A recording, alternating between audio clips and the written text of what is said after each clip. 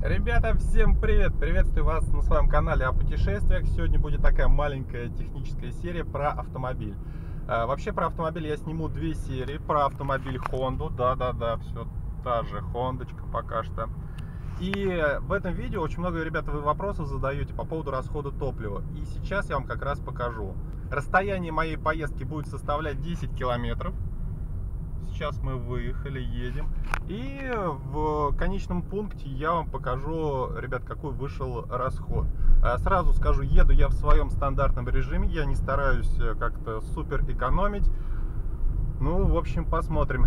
И в очередной раз э, говорю, ну, тем, кто, может быть, э, впервые меня видит, в японских автомобилях идет другая мера исчисления. То есть не как мы привыкли, сколько литров мы потратим на 100 километров. У них сколько километров проедем на одном литре. Давайте сейчас посмотрим, какой у меня расход. Так. Ух, елки. Ну вот сейчас, ребята, расход, пожалуйста, возьмите 100, поделите на 50 и получите расход в 2 литра. Пожалуйста, я ничего не мудрю, просто едем сейчас небольшая горочка, поэтому такой расход. Вообще, я думаю, что расход выйдет где-то в 3 литра. Посмотрим, поглядим. Утро, 20 градусов тепла, не так жарко. Едем. В общем так. А, ребята, вторую серию сниму, к великому сожалению, к огромному моему сожалению. Вообще я планировал на этом автомобиле прокатиться, ну, где-то лет 5. Потом продать, опять поехать в Владивосток. Но, к сожалению, проезжай, мужичок. Давай, езжай.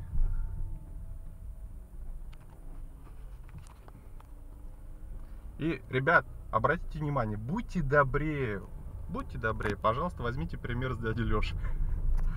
Э, так вот, э, к чему я говорю, что... Так, сейчас, секундочку, проедем. О, как раз красный свет, постоим, пообщаемся, чуть-чуть потредим. Так вот, ребят, я планировал на этом автомобиле проездить, ну, где-то лет 5, э, потом продать его и поехать опять в Владивосток за новым автомобилем. Но жизнь такая штука непредсказуемая. И, к сожалению, приходится мне прощаться с моим любимым автомобилем. Да, да, к сожалению, это дело так. Но помните, как я рассуждал позитивно, это лишний шаг, это еще один шаг поехать во Владик. Так что вот так вот. В общем, ребят, сегодня серия о расходе. А, все я вам покажу, все расскажу. В общем, поехали. Так, пока у нас тут э, ровная дорога, живу я в городе Миллионники, называется он Волгоград. Э, таких автомобилей здесь я больше не встречал. Вообще в европейской России народ не шарит в гибридах, ну не знаю почему, и негативно относится к правому рулю, типа фу, правый руль не знаю, я таких людей не понимаю. А, почему я люблю правый руль? А, первое, то, что я не вижу никакого дискомфорта. А, потом, ребят, обратите еще внимание, то, что ну, большинство людей это правши. А чаще каким мы пользуемся переключателем? Это поворотник. Поворотник мы переключаем правой рукой, потому что мы все правши, и это удобно. Ну, по поводу обгон фур, ребят, ну вы вплотную просто не подъезжайте к фуре, делайте небольшую дистанцию, и все без проблем. И я считаю, что гораздо опаснее ездить на Жигулях без системы ABS, ESP и с э, очень дохлым мотором. Но ну, э, это мое личное мнение, я никому ничего не навязываю. С одной стороны, чем меньше людей пользуются гибридами, тем меньше на них цена. И у меня больше шансов купить за дешевую цену их. Опять красный сигнал. Так, в общем, смотрите, ребят, мы проехали 3,5 километра. Давайте посмотрим расход какой. Вот расход стал обычный, нормальный. То есть э, это, ну, 4, это 3 литра. Посмотрим, что будет на финише.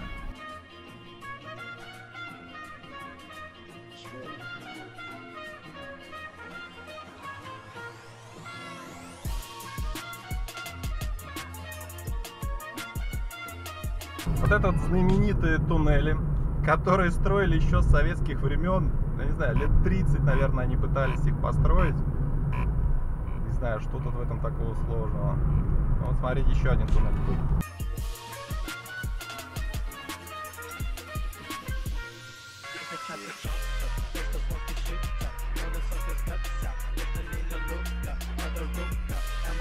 И вот эти вот туннели строили очень-очень много лет, и здесь всегда были пробки.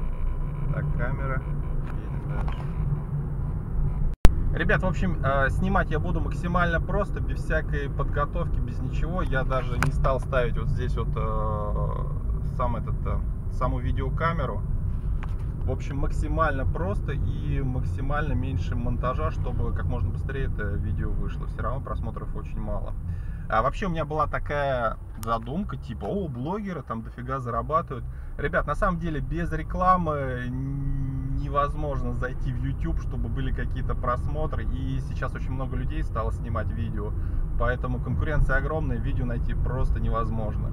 Если вы богатый человек, у вас есть какой-то капитал, да, можно деньги вбухнуть, вбахать в рекламу, в оборудование, снимать красивые видосы, тогда, да, может быть, все это дело зайдет. Если вы обычный человек, э, шансы, я считаю, что равны нулю по факту. Конечно, все от контента зависит. У меня контент в основном это путешествия, путешествующих очень мало, народ почему-то не любит путешествия. Ну, так что как-то так. Так, едем.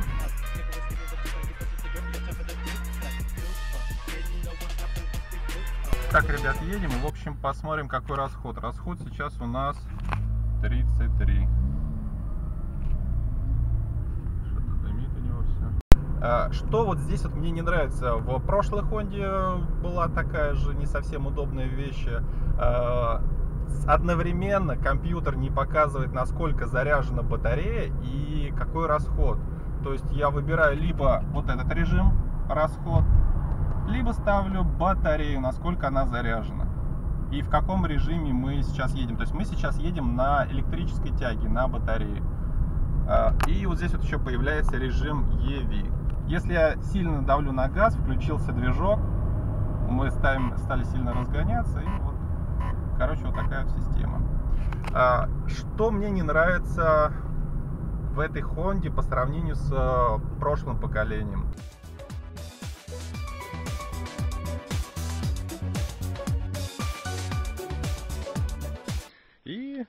голубая.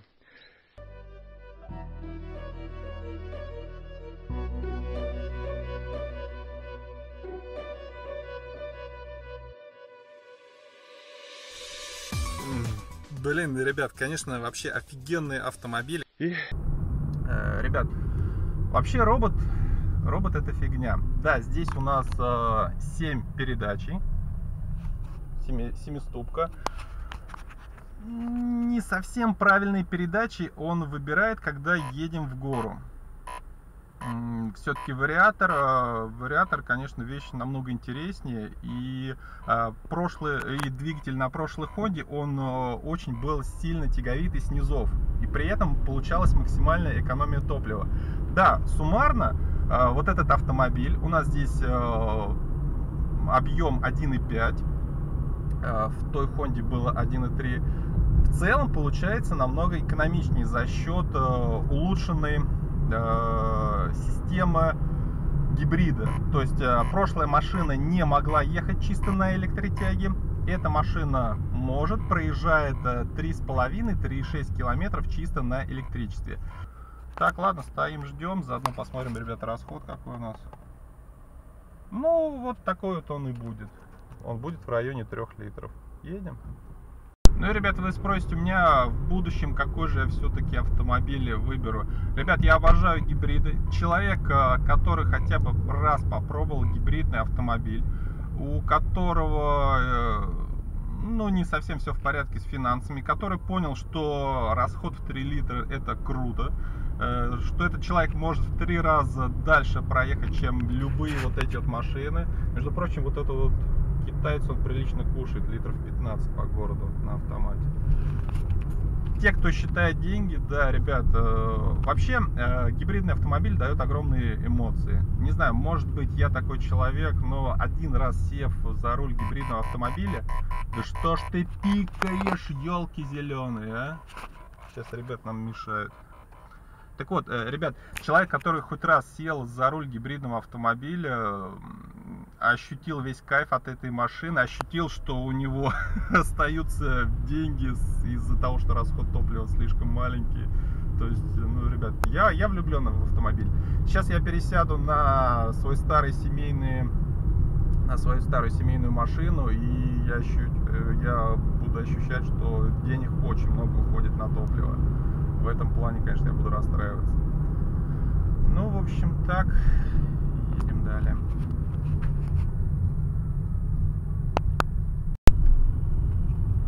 А вот у нас находится знаменитая набережная. Причем интересно, город находится на Волге. Э, по идее, вы сделаете набережную хоть вдоль всего города.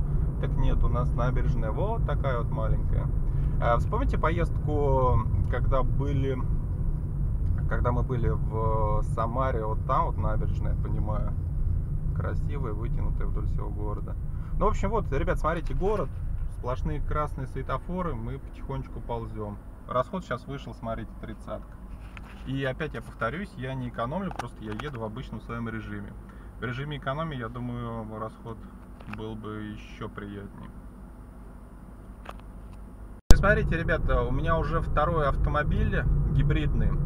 И я до сих пор никак не могу понять, как такое, как вот этот осознать, что едешь на электричестве, на электричестве полнейшая тишина шин только от э, колес, э, нет вот этого рева двигателя, ну не знаю, но реально какой-то космический корабль, автомобиль будущего.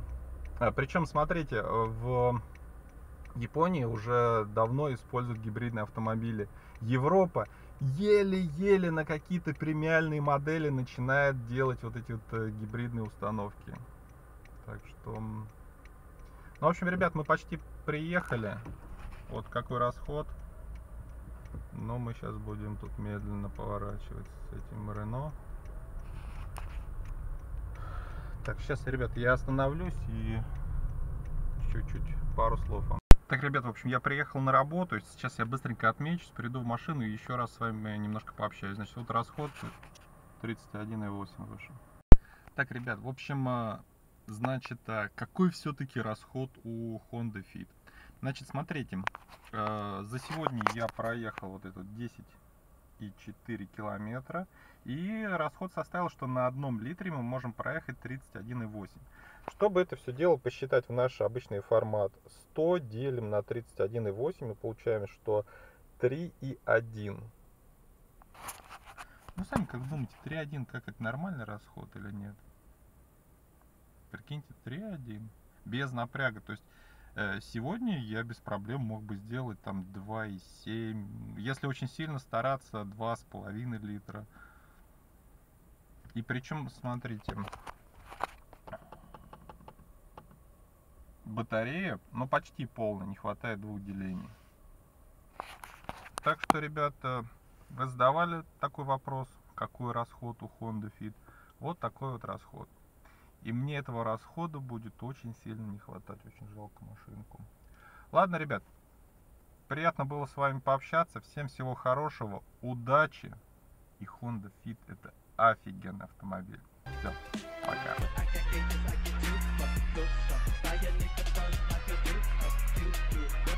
roll up your